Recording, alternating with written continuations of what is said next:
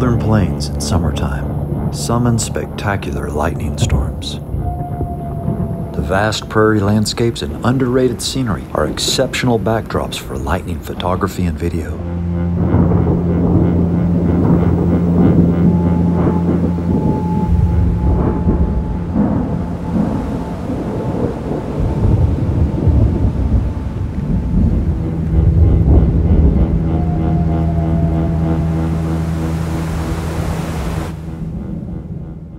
In northeastern Wyoming, there's an otherworldly place that oversees this boundless beauty.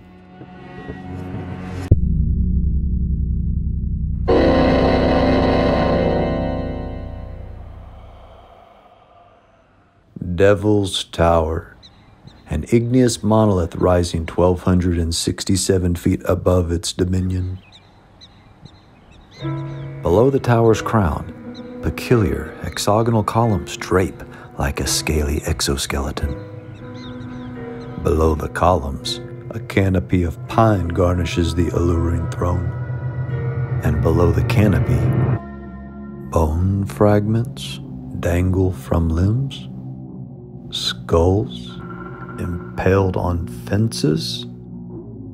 What dark rituals occur in the shadows here to bestow such a sinister name?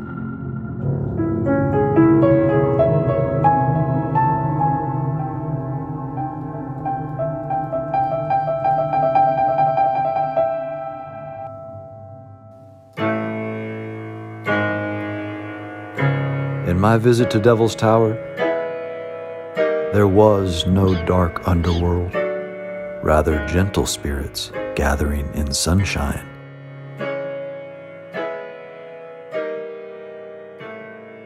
Wild horses grazing in harmony with the elk on distant bluffs. Prairie dogs frolicking under your feet. And a place where getting stuck in rush hour traffic is a moving thing to behold. Hey there, cowgirl.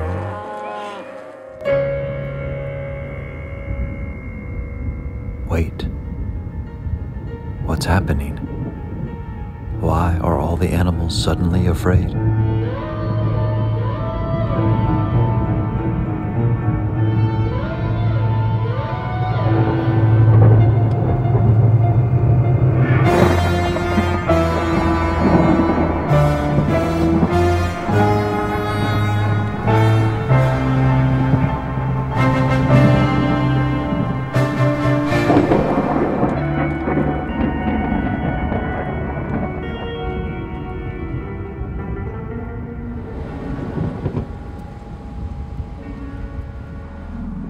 The volcanic monolith is sacred to dozens of Native American tribes throughout the region.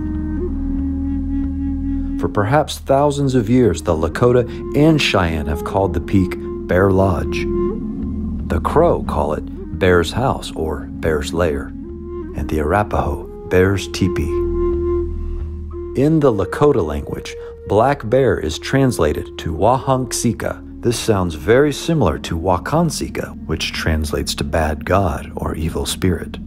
It seems that in 1876, a popular book published by Colonel Richard Irving Dodge mistranslated Black Bear for bad god.